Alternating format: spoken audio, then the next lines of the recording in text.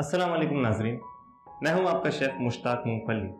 अगर आप मुझे नहीं जानते तो मेरा नाम पाकिस्तान के मशहूर तरीन शेफ्स में आता है। पाकिस्तान के तकरीबन हर सूबे में मैंने अपनी कुकिंग का जादू दिखाया है। डॉलमिन मॉल, जो कि कराची का सबसे बड़ा मॉल है, उसके बिल्कुल सामने मैं मुर्ग चोले की रेडी लगाता हूँ।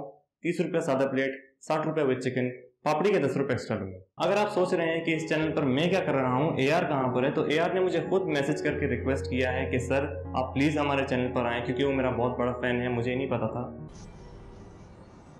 तो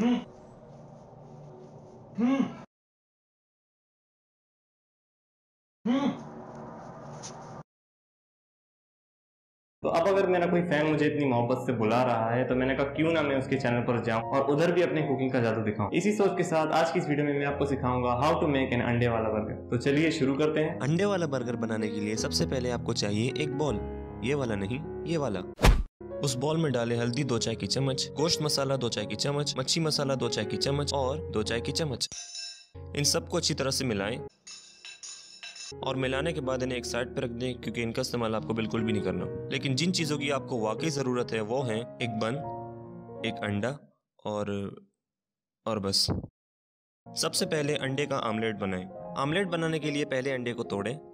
उसे प्याले में जमा करें, नमक डाल के अच्छी तरह से हिलाएँ और उसे पकने के लिए चूल्हे पर रख दें और वेट करें वेट करते करते अगर बोर हो जाए तो थोड़ा अपने एंटरटेनमेंट के लिए नाच लें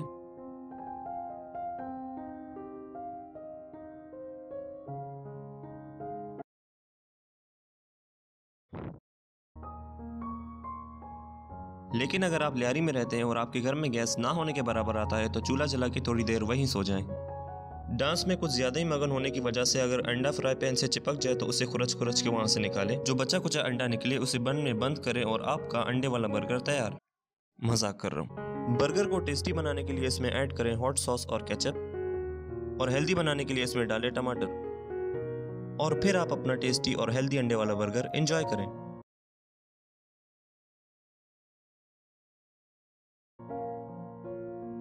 तो ये था हाउ टू मेक एन अंडे वाला बर्गर उम्मीद है कि आपको इससे कुछ मदद मिली. मिलता हूँ मैं आपको अपनी नेक्स्ट ट्यूटोरियल में. तब तक के लिए अल्लाह हाफिज.